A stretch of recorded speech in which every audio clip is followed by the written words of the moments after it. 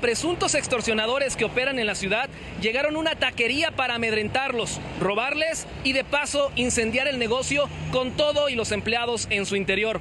Afortunadamente los empleados pudieron salir del lugar ilesos. Sin embargo, no fue el único ataque que sufrió esta cadena de taquerías en Celaya. Al día siguiente por la noche, otro de sus locales, una camioneta de tacos, fue incendiada. Por fortuna, el lugar se encontraba cerrado y no se reportaron personas lesionadas. Así lo confirmaron autoridades municipales, quienes además lo calificaron como un hecho aislado.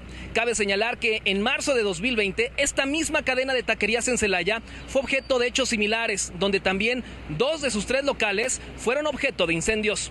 Hasta el momento, la Fiscalía General del Estado no ha dado detalles sobre estos hechos, solo se ha limitado a informar a través de las autoridades municipales que ya se investigan los hechos.